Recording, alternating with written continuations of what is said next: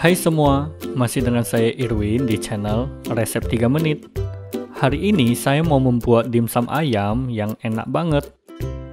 Yuk, tonton terus hingga selesai. Bagi teman-teman yang belum subscribe, jangan lupa subscribe channel ini ya.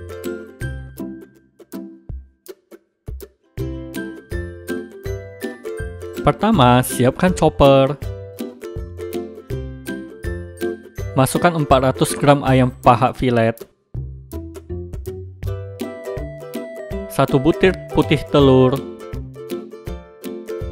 1 sendok makan saus tiram. 3 sendok makan tepung tapioka. Setengah sendok teh lada bubuk. 1 sendok makan kecap asin. Setengah sendok makan minyak wijen setengah sendok makan kaldu bubuk, setengah sendok teh garam, dan satu siung bawang putih. Haluskan semua bahannya ya.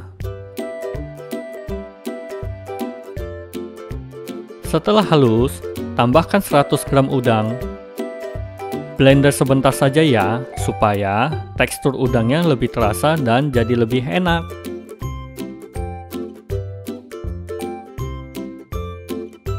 Pindahkan ayam ke wadah bersih.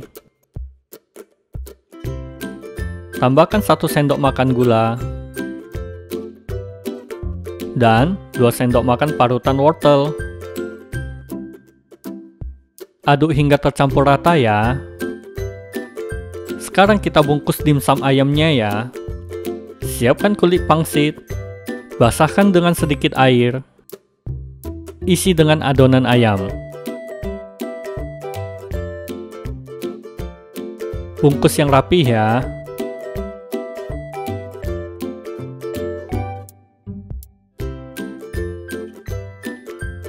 Taburkan sedikit parutan wortel ke atas dimsum ayamnya ya.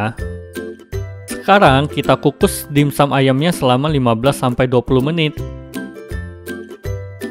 Jangan lupa penutup kukusannya dibungkus kain ya, supaya airnya tidak netes ke dimsumnya.